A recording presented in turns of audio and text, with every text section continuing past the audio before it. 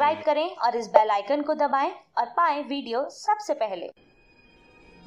मैं भारत को भारतीयता की मान्यता के आधार पर फिर से खड़ा करना चाहता हूँ। उस काम में लगा।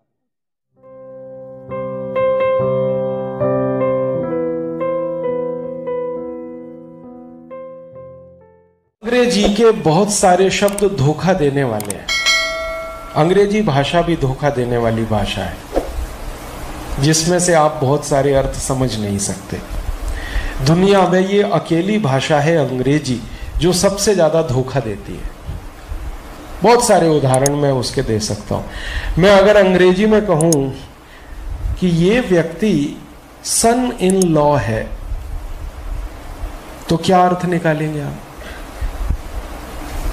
मैं कहूँ कि कोई व्यक्ति आपका या मेरा सन इन लॉ है। सन इन लॉ क्या मतलब है इसका?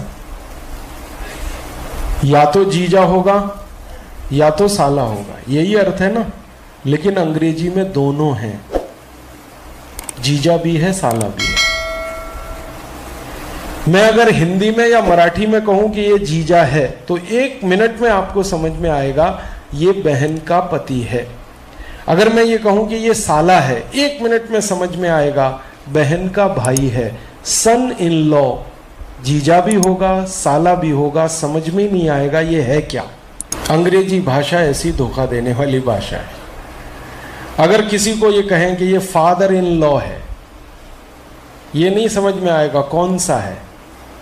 इधर वाला है कि इधर वाला है? लड़की वाला है कि लड़के वाला है? है फादर इन लॉ फिर ये कहा जाए, मदर इन लॉ है। नहीं समझ पाएँगे आप, लड़की वाली है कि लड़के वाली है। वो दोनों ही हो सकती है। सिस्टर इन लॉ बिल्कुल नहीं पता कर पाएँगे कि आप ये है कौन सा रिश्ता सिस्टर इन लॉ ऐसे अंग्रेज़ी में हज़ारों शब्द हैं।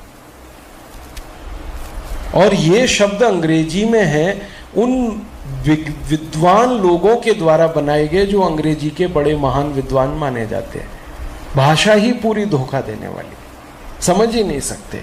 अगर मैं आपसे ये बोलूँ, सन, अब पता नहीं कौन सा सन एस यू एन भी हो सकता है एस ओ एन भी हो सकता है एस यू एन सूरज है एस ओ एन बेटा है, दोनों में ज़मीन आसमान का अंतर है प्रोनाउंसिएशन एक ही है, सन। समझ ही नहीं सकते आप। लोगों को, दोस्तों कैसा लग रहा है राजीव दीक्षित का व्याख्यान यदि आप लोग राजीववादी हैं तो चैनल को ज़रूर सब्सक्राइब कर लीजिएगा। यदि वीडियो राजू भाई का अच्छा लगा तो उसे वीडियो को लाइक कर दीजिएगा।